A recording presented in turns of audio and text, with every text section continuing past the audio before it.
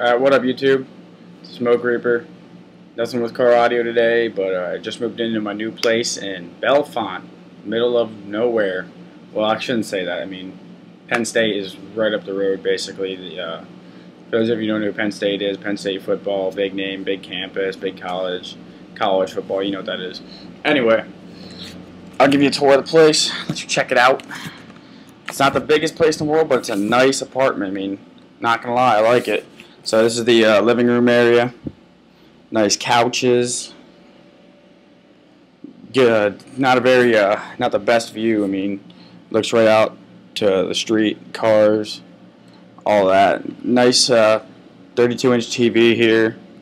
So, you know, that's always a plus. Fireplace, where a fireplace used to be. Pictures of my brothers and my sister. Let's go out to the kitchen.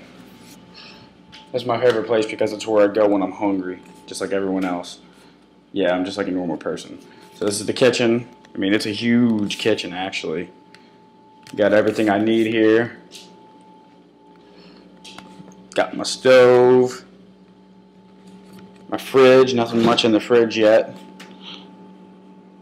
Hmm, what I got in here? Oh, cookies, sweet. Found some, found some cookies in there. Uh, this is the back. I don't really have a backyard or anything like that. It's where I put all the recyclables and the garbage cans. They come pick it up. All right, those are the two of the rooms. Uh, next place, this is the walk-in entrance. It's like an old Victorian style apartment, more or less. So looks a little old school, but it's nice. This is where my mom sleeps. I love my mom. She let me move in here kindly, and I'm gonna find a job up here. So thanks, mom. Love you. Everybody's got to love their mom. Uh, little bathroom here. Bathroom's right here, chilling. Nothing much in it, but again, said again, it's a great place. I like it so far. And the last place is my room, which is not even close to being finished yet. I'm still waiting on my bed to get delivered. That's my air mattress I've been sleeping on. And uh, there's my uh, 32 inch Vizio. Got to find a desk or something to put that on. And Oh, but I do really like the closet. The closet's uh, pretty big. It's got like three doors to it. The other door over here is probably is busted, and like I said, don't have much of a view. So it's nothing that uh, I can't handle. But you know, it's a nice place. Take you out front. Right. This is outside. This is the area I live in. It looks like there's nothing here, which there is nothing in Bellefonte.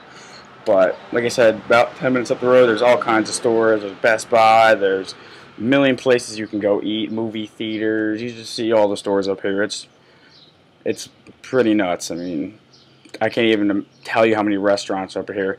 I was down to a restaurant earlier though. It's about down the road a mile. It's like a little uh, family-style restaurant. It's like uh, family-owned they had this root beer there that gets sprayed out of the keg root beer. They take it and then you can put vanilla, cherry, or I forget what else in it, chocolate like uh, syrup right into the root beer. And it's a, probably the best stuff I've ever had. I mean, it's good shit. So, this is the outside. This is the walkway. This is where it is. And uh, I'll take you to the front. Sorry about the glare. There it is tenants live upstairs. And of course, my car, which, you know, it's only street parking here, so my car is like all the way up here. But usually I get to park across the street, so. But today is just not that kind of day that I get to park over there. So, my car's all the way up here. The one thing about this area that I don't like is that there's a noise ordinance in the area and there's cops driving by all the time. I mean, I can just count them going by. I've counted like from 8 in the morning to 9 in the morning. There was like at least 30 cars, cops went by. But I'm pretty sure it was the same cop.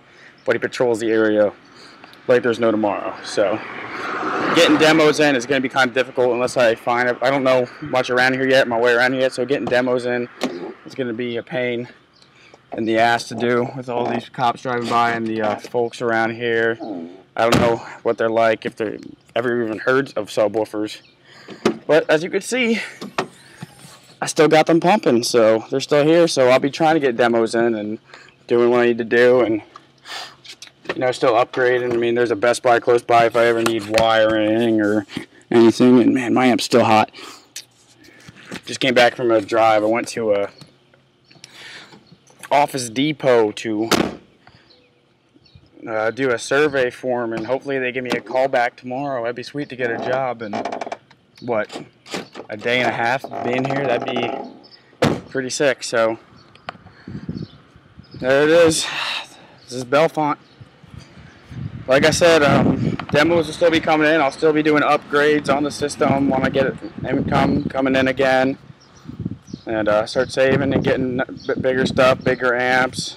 Demos will still run. I'm sure I'll find some people around here that might know what a subwoofer is. And if you're, getting, if you're hearing a lot of wind, it's windy out, so sorry about that. But other than that, I mean, it's a nice place. It's quiet, but it's uh, really nice, and I can't complain. I mean, mom's letting me stay here, so thanks to her.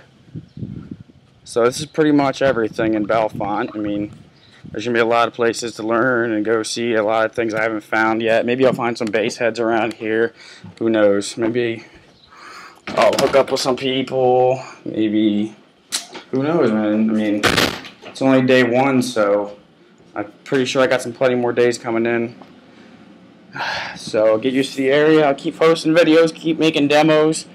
If I have time, I'll throw a demo up tomorrow. You know, and shake people's houses, do what I need to do. So that's all I got for you guys. That's my new digs. Peace out.